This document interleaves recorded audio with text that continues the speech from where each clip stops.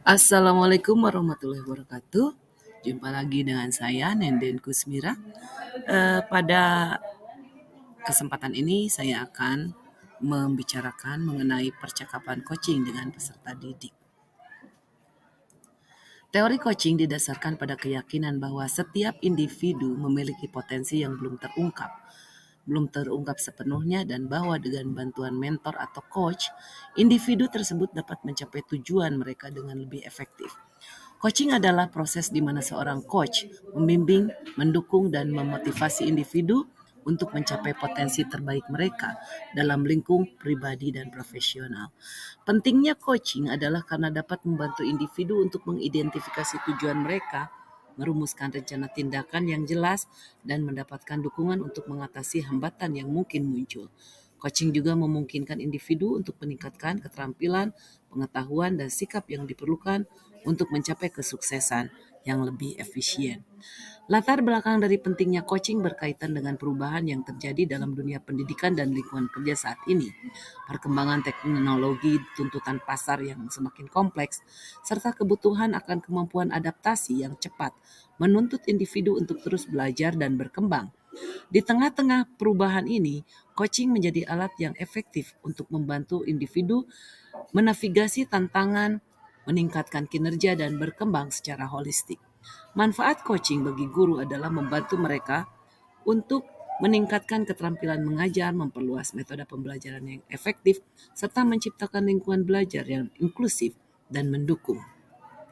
Melalui coaching, guru dapat belajar bagaimana mengidentifikasi kebutuhan individu, merencanakan pembelajaran yang sesuai dan mengevaluasi efektivitas pengajaran mereka. Dengan demikian, guru dapat menjadi lebih berkualitas dan berdaya Eh, berdaya saing dalam memenuhi tuntutan pendidikan yang terus berkembang. Sementara itu, manfaat coaching bagi peserta didik meliputi peningkatan motivasi, kepercayaan diri, dan keterampilan belajar. Dengan bantuan seorang coach, peserta didik dapat mengidentifikasi tujuan pendidikan mereka, mengatasi hambatan, eh, hambatan belajar, dan mengembangkan strategi untuk mencapai kesuksesan akademis dan pribadi.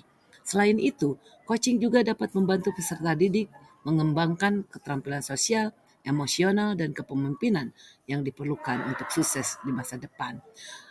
Secara keseluruhan, coaching merupakan pendekatan yang sangat efektif dalam membantu individu mencapai potensi terbaik mereka, baik dalam konteks eh, pendidikan maupun profesional, dengan dukungan maupun uh, bimbingan yang tepat dari seorang coach, guru dan peserta didik dapat mencapai tujuan dengan lebih efisien, memperluas wawasan mereka dan meningkatkan kualitas hidup mereka secara keseluruhan.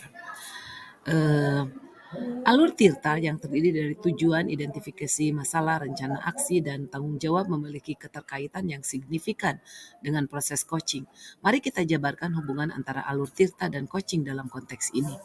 Tujuan pada tahap pertama alur tirta, tujuan diterapkan sebagai penuntun bagi individu. Dalam coaching, penetapan tujuan juga menjadi langkah awal yang penting. Seorang coach bekerja sama dengan klien untuk membantu mereka mengidentifikasi tujuan yang ingin dicapai, baik dalam kehidupan pribadi maupun profesional. Tujuan yang jelas akan menjadi pendorong motivasi dan fokus bagi individu dalam proses coaching. Identifikasi masalah setelah menerapkan tujuan, langkah yang berikutnya adalah alur dalam alur tirta adalah identifikasi masalah yang perlu diatasi. Dalam coaching, proses identifikasi masalah sering dilakukan melalui refleksi diri, diskusi dan keterlibatan aktif antara coach dan klien. Coach membantu klien untuk mengidentifikasi hambatan, tantangan atau masalah yang menghalangi pencapaian tujuan mereka. Melalui pemahaman yang lebih dalam terhadap masalah tersebut, klien dapat mencari solusi yang tepat. Rencana aksi dalam alur tirta setelah mengidentifikasi masalah, individu perlu merencanakan tindakan yang akan dilakukan untuk mengatasi masalah tersebut. Sama halnya dengan proses coaching, coach bekerja sama dengan klien untuk merancang rencana aksi yang terarah dan terukur untuk mencapai tujuan yang telah ditetapkan. Rencana aksi ini dapat mencakup langkah-langkah konkret, target pencapaian, serta waktu pelaksanaan yang jelas. Rencana aksi yang didukung oleh coach, membantu klien untuk meraih tujuan mereka dengan efektif. Tanggung jawab. Bagian terakhir dari alur tirta adalah pelaksanaan yang dilandasi oleh tanggung jawab. Dalam coaching, tanggung jawab juga menjadi aspek penting yang ditekankan kepada klien.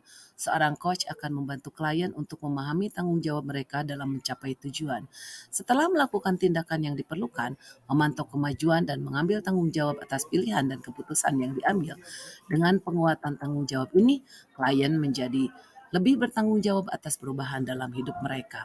Dengan demikian hubungan antara alur tirta eh, alur tirta ya tujuan identifikasi identifikasi masalah, rencana aksi, dan tanggung jawab dengan coaching memperlihatkan keselarasan antara kedua konsep tersebut dalam mendukung pertumbuhan dan transformasi individu.